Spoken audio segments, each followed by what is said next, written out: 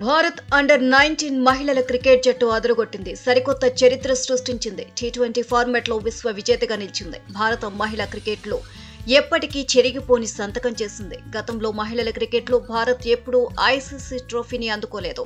Title వేటలో senior జట్టు విఫలమైంది. కానీ జూనియర్ జట్టు మాత్రం చెలరేగింది. పాచెప్స్ రూమ్లో జరిగిన వరల్డ్ కప్ ఫైనల్లో సత్తా చాటింది. ఇంగ్లాండ్పై అప్పర్ హ్యాండ్ సాధించింది. ఫైనల్లో ఒత్తిడిని అధిగమించి హాట్ ఫేవరెట్ అనుకున్న ఇంగ్లాండ్ను చిత్తు చేసింది. ఏకంగా ఏడు వికెట్ల తేడాతో భారత్ అండర్ నైన్టీన్ జట్టు విజయం సాధించింది.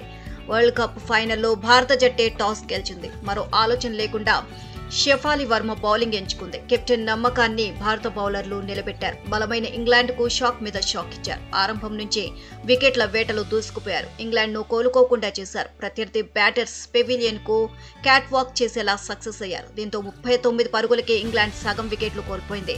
ఈ దశలో భారత బౌలర్లు మరింత ఒత్తిడి పెంచారు. ఇంగ్లాండ్ను కోలుకోకుండా చేశారు. వికెట్ల పండగ చేసుకున్నారు. దీంతో ఇంగ్లాండ్ పదిహేడు పాయింట్ ఒక్క ఓవర్లో అరవై ఎనిమిది పరుగులకే పరిమితమైంది. భారత బౌలర్లలో టీటా సాధు అర్చనాదేవి పర్షవి చోప్రా రెండేసి వికెట్లు దక్కించుకున్నారు. ఇంగ్లాండ్ తరపున పంతొమ్మిది పరుగులతో రానా మెక్డొనాల్డ్ గే టాప్ స్కోరర్గా నిలిచింది.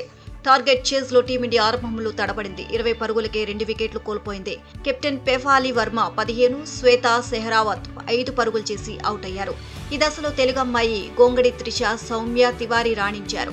టార్గెట్ను కరిగించారు. మూడో వికెట్కు అరవై ఆరు పరుగులు జోడించాక త్రిష అవుట్ అయింది. ఆ తర్వాత మిగతా పనిని సౌమ్య తివారీ ఫినిష్ చేసింది.